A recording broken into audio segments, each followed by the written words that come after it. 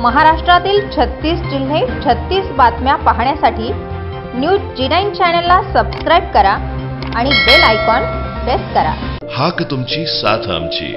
छत्तीस जिल्हे छत्तीस बातम्या. News G nine Maharashtra. उत्तर तुमच्या प्रश्नांचे.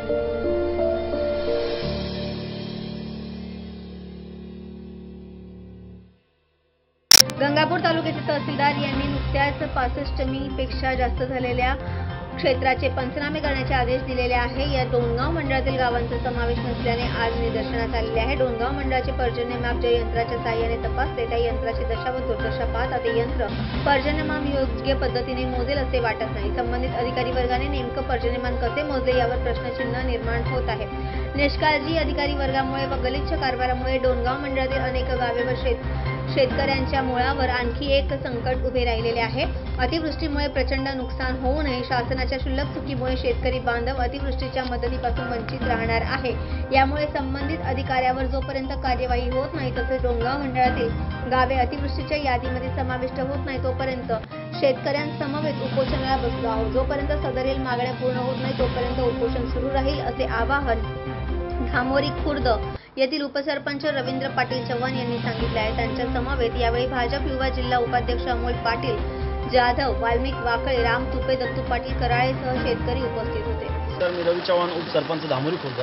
या ठिकाणी भर पावसामध्ये उपोषणाला बसण्याचं कारण असं आहे की आज तहसीलदार गंगापूर यांनी एक या पत्र प्रसिद्ध केलं आणि त्या पत्रामध्ये ज्या गावामध्ये पासष्ट मिलीलिटरपेक्षा जास्त पाऊस झाला अशा गावांच्या नुकसानीचे पंचनामे करण्याचे आदेश काढले. आणि या आदेशातून आमचं जे डोंगगाव मंडळ आहे ते वगळण्यात आलेलं आहे. ह्या गाव ह्या मंडळातील वीस ते पंचवीस गावं वगळण्यात आलेले आहे त्याचं कारण असं आहे या ठिकाणी जे पर्जन्यमापक यंत्र बसवलेलं आहे ते यंत्र अत्यंत चुकीच्या पद्धतीने बसवलेलं आहे. कुत्र्यानं शपूट मारली तर ते लुंडकून जाईल विशेष म्हणजे ज्या दिवशी परवा दोन दिवसापूर्वी जो जास्त पाऊस झाला त्या ते यंत्रच कमीत कमी पाण्यात होतं पूर्ण गुडघ्या इतक्याला पाणीच त्या ठिकाणी होतं. आणि ह्या ठिकाणच्या महसूलच्या अधिकारी कर्मचाऱ्यांनी प्रशासनाला चुकीची माहिती दिली की फक्त वीसच मिलीमीटर या ठिकाणी पाऊस झाला. ह्या कारणामुळे पासष्ट मिलीमीटरच्या खाली दाश दाखवलं गेलं. ह्या कारणामुळे आमचे वीस पंचवीस गावं ह्या पंचनाम्याच्या यादीतून वगळण्यात आले. याचे शेतकऱ्यांना इतकं नुकसान होणार आहे. जर आमच्या शेतकऱ्यांचे पंचनामे नाही झाले तर आमच्या शेतकऱ्यांना या वीस पंचवीस गावातल्या शेतकऱ्यांना नुकसान भरपाईपासून वंचित राहावं लागणार आहे. यामुळे या महसूल अधिकाऱ्यांच्या प्रचंड मोठ्या चुकीमुळे यांच्यावर जोपर्यंत कारवाई होत नाही आणि आमच्या या वीस पंचवीस डोनगाव मंडळातल्या गावांमध्ये पंचनामे होऊन शेतकऱ्यांना नुकसान भरपाईसाठी शासन स्तरावर पाठवण्यात येत नाही तोपर्यंत आम्ही या ठिकाणी उपोषणाला भर पावसात इथं बसलेलो आहोत.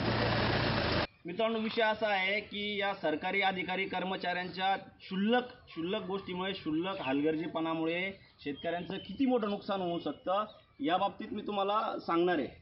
आज सकाळी तहसीलदार गंगापूर यांनी पासष्ट मिलीमीटरच्या वरती जिथं जिथं पाऊस झाला व शिवना नदीच्या काठच्या गावात जिथं जिथं नुकसान झालं त्या ठिकाणचे पंचनामे करण्याचे आदेश दिले. या पंचनाम्यातून आमच्या या डोणगाव मंडळातील डोणगाव सजीतील बरेच गाव वगळले. त्याचं कारण असं आहे की शासनानं काय सांगितलं? की पासष्ट मिमीच्या वरती जिथं पाऊस झाला अशाच ठिकाणचे पंचनामे होणार आहे.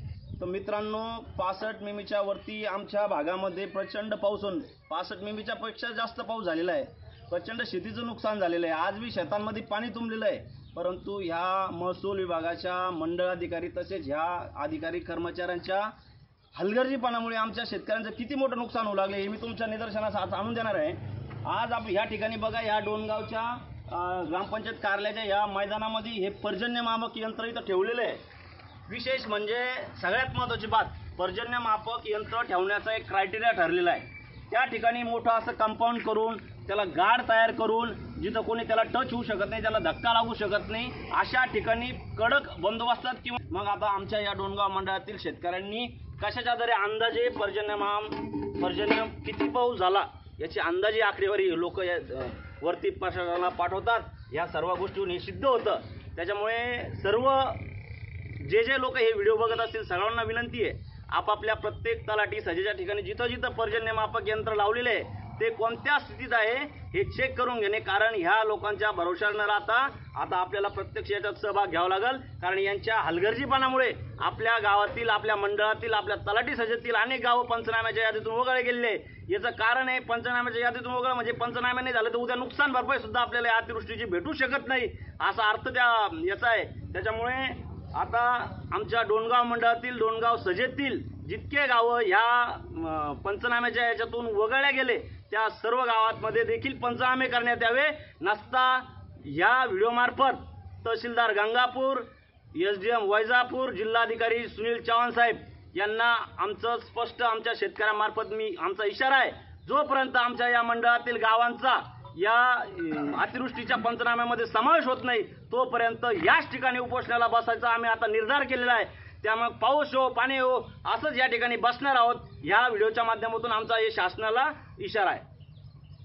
न्यूज जी नाईन महाराष्ट्रासाठी खुलताबाद जिल्हा औरंगाबाद प्रतिनिधी रईस शहा.